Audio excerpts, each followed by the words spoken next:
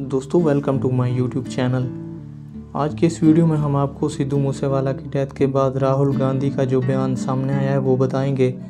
Video में मज़ीद आगे बढ़ने से पहले अगर आपने हमारे यूट्यूब चैनल को सब्सक्राइब नहीं किया तो जल्दी से चैनल को सब्सक्राइब कर दें। लेट स्टार्ट द वीडियो दोस्तों, राहुल गांधी ने सिद्धू मूसेवाला के बारे में कहा कि वो उभरते हुए नौजवान सिंगर थे और साथ अच्छे इंसान और सियासतदान थे।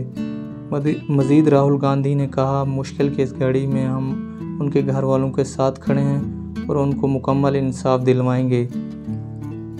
दोस्तों, मज़ीद वीडियो के लिए हमारे यूट्यूब चैनल को सब्सक्राइब करना मत भूलिए।